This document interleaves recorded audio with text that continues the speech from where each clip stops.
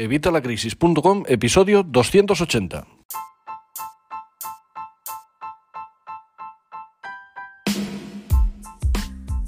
Hola, buenos días, buenas tardes o buenas noches. Soy Javier Fuentes de Evitalacrisis.com. Bienvenido un día más a tu podcast de educación financiera y finanzas personales. Hoy es viernes 15 de enero de 2021 y vamos a hablar de Bitcoin. Vamos a hablar de esta criptomoneda, de esta criptodivisa. Vamos a hablar de de cómo parece que poco a poco está desplazando al oro como valor refugio y lo vamos a ver hoy en el podcast de Educación Financiera y Finanzas Personales. Pero antes, como siempre, ya sabes, evitalacrisis.com, cursos de Educación Financiera y Finanzas Personales donde vas a aprender a manejar tu dinero, vas a aprender a ahorrarlo, a invertirlo, a ganarlo, a gestionarlo, vas a aprender todo lo necesario sobre el dinero, vas a aprender sobre la educación financiera y vas a aprender a tener tus finanzas personales saneadas, a salir de deudas, a, a ahorrar impuestos, todo, todo lo vas a tratar en evitalacrisis.com. Ya sabéis que además estamos de oferta, seguimos a 3 euros, posiblemente ya el lunes pasemos a 4, así que aprovecha, apúntate hoy mismo y mantendrás este valor de por vida. Y nada más, vamos a pasar ya con el tema del, día, el tema del Bitcoin. Y es que mucha gente está muy interesada en el tema de las criptodivisas, lo sabemos desde hace muchísimo tiempo. De hecho, la criptomoneda acumula un alza de 37% en 2021, ¿vale? O sea, ahora mismo lo que es la, la capitalización perdón, del mercado de las criptomonedas supera por primera vez el billón de dólares. Y esto, bueno, pues es algo que, que no deja de ser significativo. El Bitcoin, que es la criptomoneda emblema, no es la única, ya sabemos que hay 100.000, pero Bitcoin es, digamos, el buque insignia. No deja de anotar nuevos máximos en este inicio de 2021. Ya en noviembre alcanzó un máximo de 37.000 dólares y este, vamos, esta semana, vamos a primeros de esta semana, no, bueno, sí, la semana pasada fue realmente. Eh, alcanzó un nuevo 8% con un récord de 40.000 dólares. O sea que, vamos, es algo es algo que debemos tener en cuenta. Eh, ha llegado a negociarse a 40.180 dólares eh, en Buenos Aires, ¿vale? Un, récord absoluto. Y sobre el cierre de los mercados de Wall Street, eh, ha llegado a subir un 6% diario en la zona de los 39.000 dólares. Está, como te digo, en, su mejor momento. Y esto mm, no deja de ser curioso, sobre todo teniendo en cuenta que estamos en una crisis. Ya sabéis que lo hemos estado hablando muchísimo tiempo. Os hablé antes de que empezara, os hablé ya cuando ha empezado y mucha gente me pregunta cómo protegerse sobre la crisis y cómo proteger nuestros ahorros. Y ya sabéis que yo siempre os digo que, bueno, pues que el, mejor refugio que hay ahora mismo, vamos, y el que utiliza todo el mundo desde hace años, muchísimos años, no es que yo venga a descubrir aquí la fórmula de la Coca-Cola, es el oro. El oro es el valor refugio por eh, autonomasia, pero sin embargo Bitcoin está eh, superando al oro ya como valor refugio. Bitcoin ganó 10 veces más desde marzo de 2019, más de un 900%, debido a que los gobiernos aumentan el gasto para amortiguar el impacto económico del coronavirus, lo que eleva el temor de un avance de la inflación y una depreciación del dólar y de las monedas de todos los países, porque no dejan de imprimir billetes, no dejan de generar dinero para hacer eh, frente a los gastos que va, va suponiendo todo esto del coronavirus, todo esto del COVID-19. Entonces, ¿qué es lo que está haciendo la gente? Pues se está refugiando en el, en, el Bitcoin, en la criptomoneda. No solo en Bitcoin, obviamente, ¿eh? no, es solo Bitcoin, pero eh, la mayoría está yéndose ahí. De hecho, ya está superando al oro, ya te digo, como valor refugio. También está ganando terreno entre los inversores más convencionales, que cada vez están más convencidos de que el Bitcoin finalmente va a ser un activo duradero y no una burbuja especulativa, como temían analistas e inversores. Eh, de hecho, Sergei, Sergei o Sergei, ya me disculpará, yo no soy ruso, Nazarov, cofundador de Chainlink, una red descentralizada que proporciona datos de los contratos electrónicos de la cadena de bloques, ya sabéis, blockchain, que es eh, todo el sistema que utiliza esto de, de, Bitcoin, dijo a Reuters que hay una falta de fe en las instituciones tradicionales que está impulsando una gran alza de los criptoactivos. Mientras que los extraños pueden ver que el valor de la industria de la criptomoneda de más de un billón de dólares como un hito increíble significativo, en realidad está todavía en una de sus primeras etapas de desarrollo y crecimiento. En fin, lo que te digo, que, está despuntando, lo dicen ya todos los expertos, eh, obviamente lo dicen ahora, esto lo podían haber dicho hace tiempo.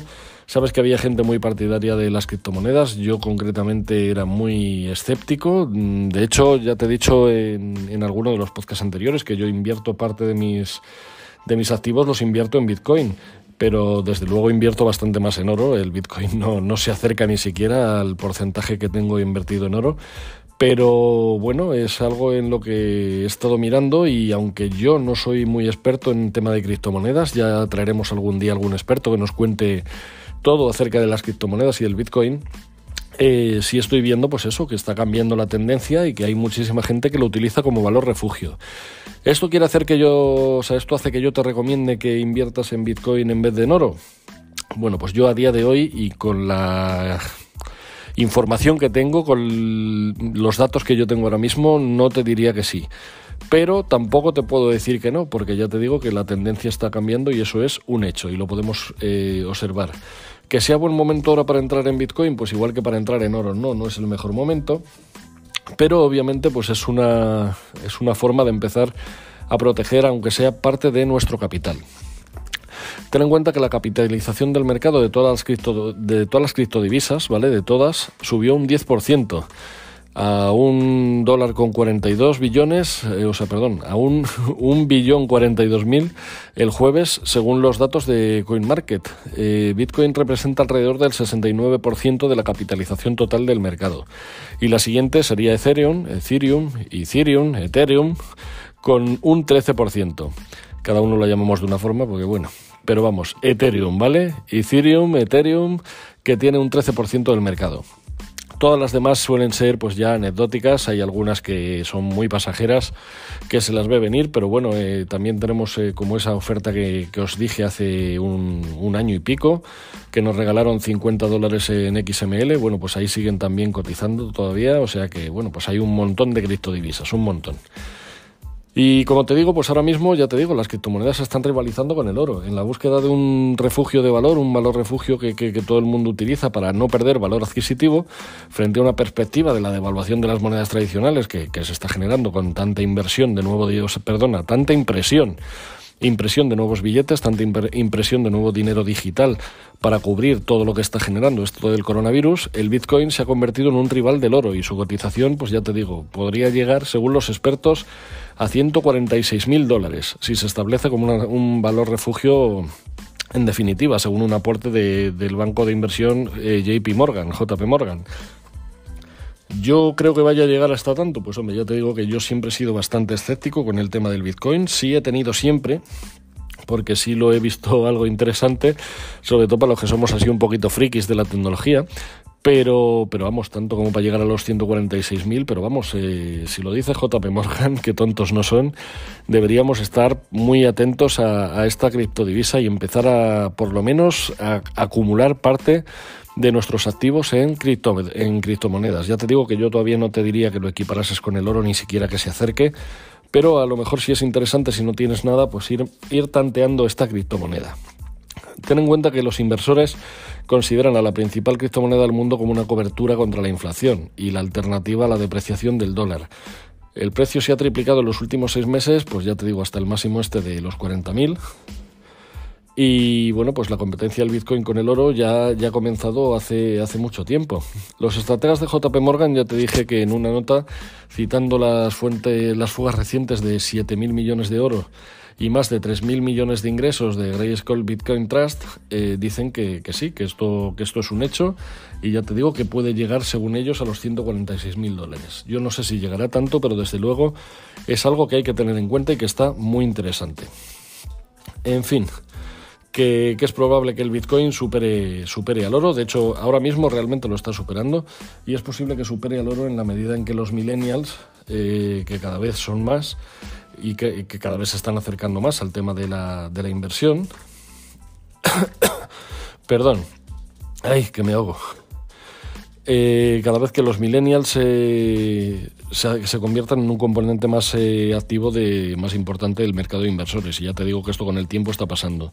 Y dada la presencia del oro digital sobre los. Eh, o sea, la preferencia, perdón, del oro digital encima de los lingotes tradicionales, pues esto, esto puede ser que al final JP Morgan tenga, tenga bastante razón.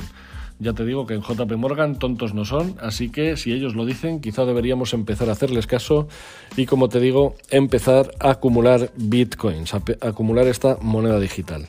Desde luego ya es algo que te llevo diciendo desde hace mucho tiempo, que se llevan oyendo voces incluso bastante contrarias desde hace tiempo y ahora ya están a favor de ello, que el dinero como tal y como lo conocemos va a desaparecer, va a desaparecer y esto va a ser cosa de poco tiempo. De hecho, en uno de los comentarios de, de mi canal de YouTube me decían que no, que esto era imposible porque mientras hubiera gente mayor que no fuera que no se acostumbrara a esta nueva forma de manejar el dinero con solo dinero digital, que esto no podía ser así. Pero vamos, ya vimos que cuando la peseta nadie pensaba que iba a cambiar y cambió. Y ahora, vamos, esto es algo más global, es algo a nivel mundial. No, no, estamos hablando del euro, no estamos hablando del dólar.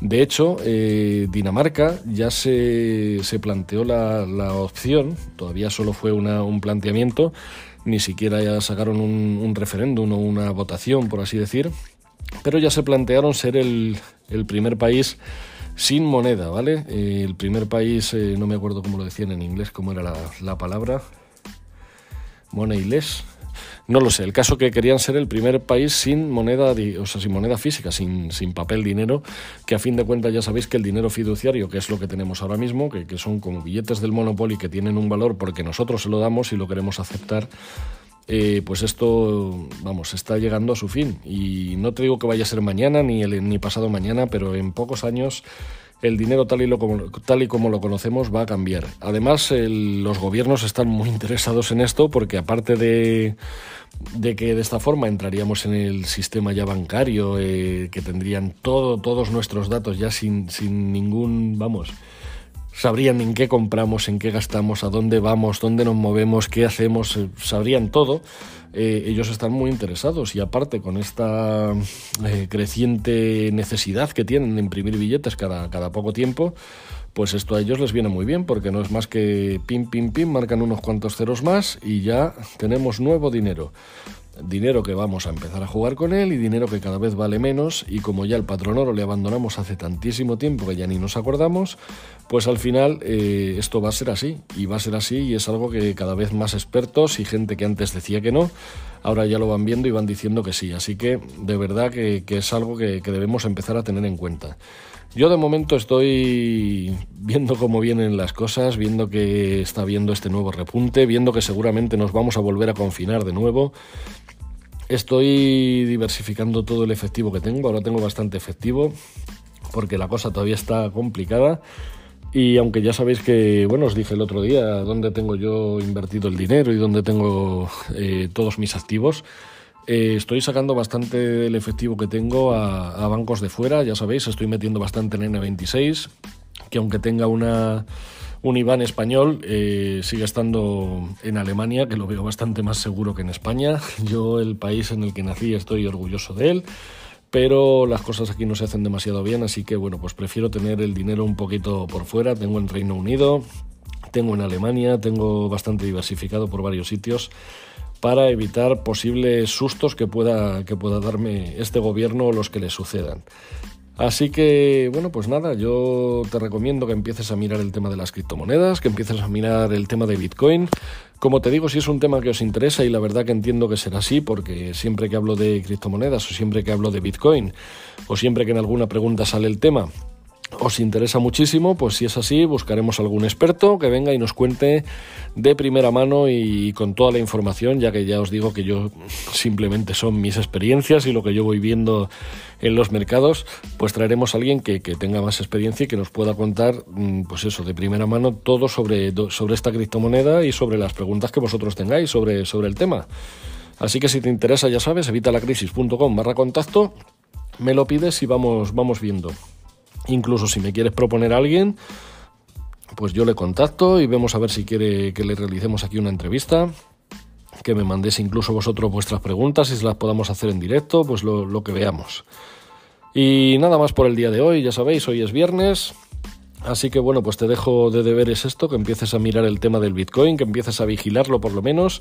Si ya tienes inversión en criptomonedas eh, y en Bitcoin en particular, me gustaría saber tu opinión, me la puedes dejar también ahí en, los comentarios aquí o me lo puedes mandar a evitalacrisis.com barra contacto porque querría tener vuestras opiniones. ¿Qué pensáis de, de esto de que vaya a rivalizar con el oro como valor refugio?